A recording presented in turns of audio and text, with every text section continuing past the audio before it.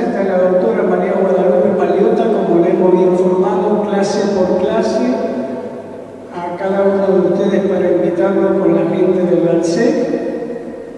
Eh, queremos que atentamente los escuchen y quien le va a dar la bienvenida a ella es la inspectora distrital de Salto, la señora Estela Elvento, a quien yo le voy a ceder el micrófono. Muchas gracias a los profesores.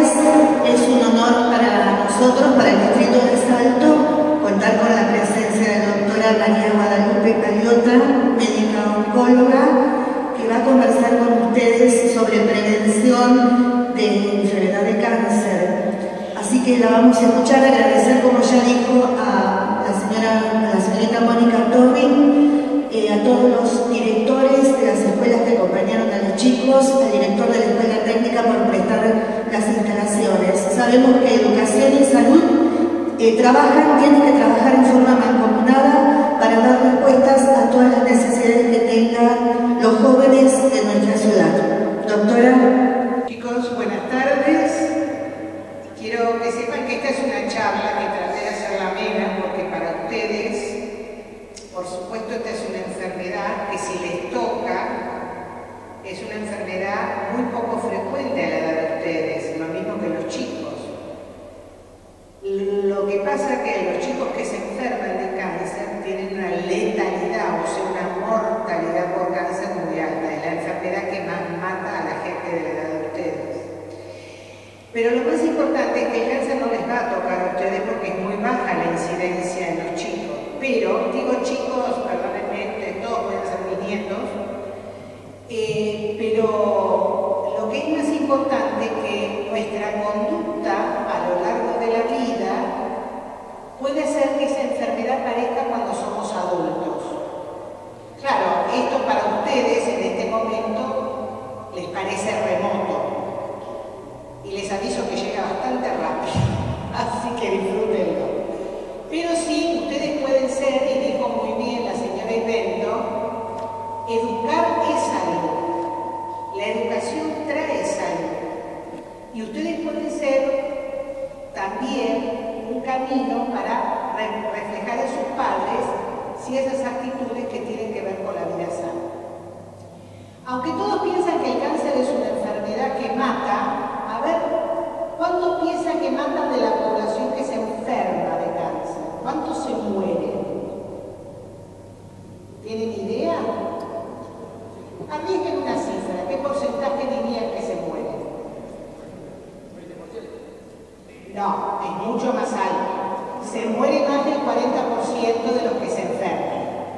Hay tumores que tienen 100% de curación, depende del tipo de tumor, y hay tumores que son no benignos, pero tienen una evolución muy larga. A veces no se curan, pero pueden convivir con el paciente. También tienen que tener esa idea. La gente en general piensa que el que se enferma de cáncer va a morir. Hoy día, 60% de los pacientes a los cuales se diagnostica un cáncer pueden vivir curados de su cáncer. ¿Y de qué depende de que nosotros tengamos o no cáncer? Depende de nuestro estilo de vida.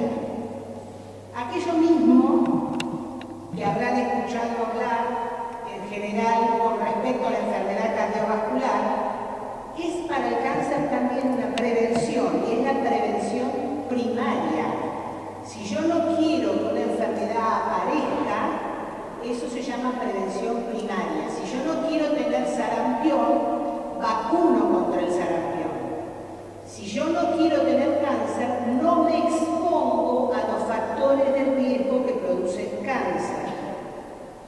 Ejemplo, la obesidad. Yo soy una cosa de hecho, no tuve ningún familiar con cáncer en mi familia, en ninguna de las generaciones que conocí. Sin embargo, mi obesidad hizo que yo tuviese un cáncer de mama. Las hormonas se metabolizan distinto e hicieron que yo tuviese un cáncer de mama. Eh, la vida deportiva previene contra el cáncer. El hecho de tener hábitos sanos en la dieta son muy importantes, no solamente el sobrepeso, sino el tipo de comida. Y también evitar los carcinógenos que están alrededor nuestro y a veces no nos damos cuenta. Uno de ellos es el sol. La exposición al sol produce dos tipos de cánceres. El de la piel y el de los melanomas, que son de los, de los lunares.